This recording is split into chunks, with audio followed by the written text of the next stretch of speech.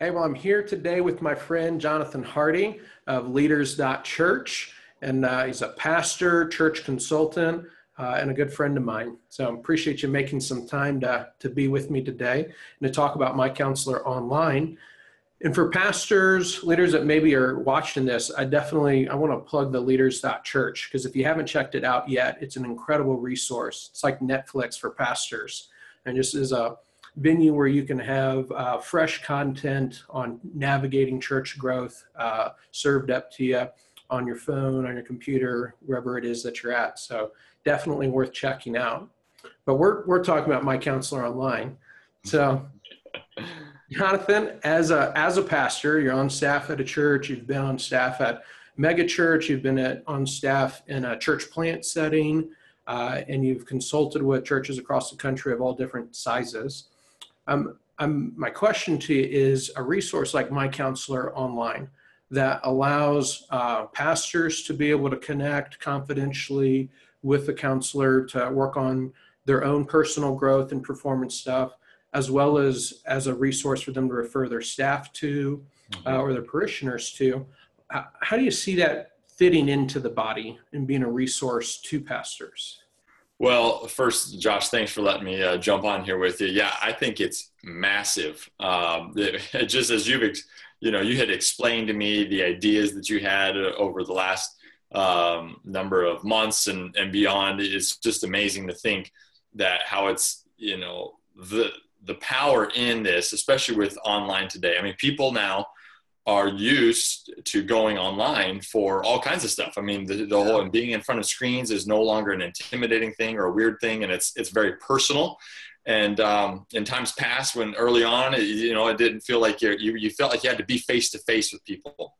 But now, more more than ever, we realize you don't have to be face to face, and you can still have great conversation. And mm-hmm. uh, we've done that, uh, uh, you and I together. And and so for for pastors uh, and even for people within the church, this is a powerful powerful tool. Tool. Uh, having worked with you know hundreds of pastors and having tons of them uh, be a part of uh, Leaders.Church, one of the things we see and we know, and and being a pastor myself, I know you want to you want to uh, maintain a, a level of confidentiality in your own life. I mean, obviously, when you're preaching, you're not airing all of your own dirty laundry, but we know we're all we're all human. We're all sinners. We all have things we're dealing with as as pastors, as ministry leaders. And this to me is a powerful opportunity for pastors to to get help, to get counsel, to get advice in a way that's confidential. You don't have to worry about going to a counseling office where you may see someone else that's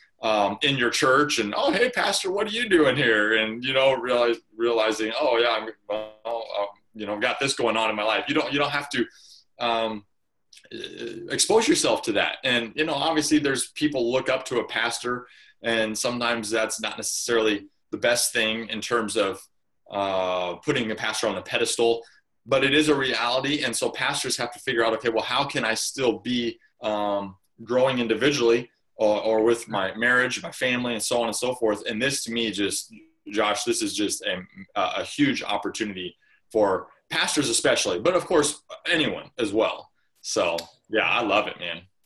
Yeah, we're super excited about it. You know, I think so often those barriers uh, to reaching out and getting help cause folks to delay uh, when until small things that could easily be addressed and quickly be addressed kind of grow into something that uh, really detracts from the effectiveness of the minister and what it is they're trying to do. And the, the enemy loves to create that scenario. So we're, we're believing the same thing. So true.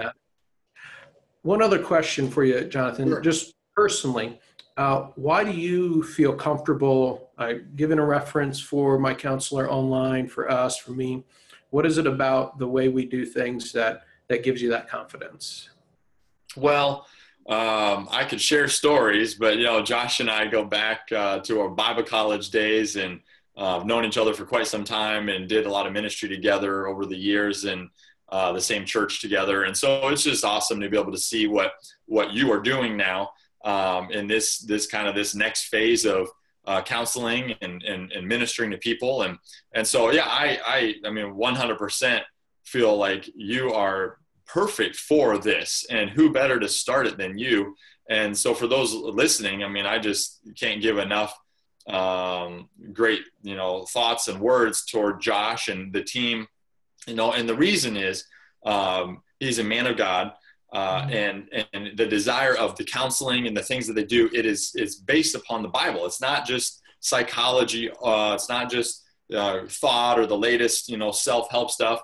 And there's a place for all of that, but it's all rooted in Scripture in the Bible. Well, what's the Bible say as it relates to these things? And that's why I think for uh, for Josh, and if you if you're looking to maybe tap into this yourself, you need to seriously give this consideration because um, Josh is the real deal. Their team's the real deal, and they um, they don't take this lightly. I mean, this is a very serious thing, and uh, and so it's it's obviously a great opportunity uh, to to be able to be a part of it. And and so that's why i'd say if you if you're thinking about it you need to do it for sure. So. I appreciate that jonathan. You know our heart is to be a blessing to the kingdom and to the body and to be a resource to pastors in the place of ministry that they're at. And so i appreciate yeah. you carving out some time just to share your thoughts on it. And uh, maybe encourage pastors that are looking for a resource for themselves their family their staff or their their parishioners that uh, you know, this could be a, a, tool for them. So yeah, absolutely, man. You. I'm excited for it. And we'll talk to you later. All right. Take care.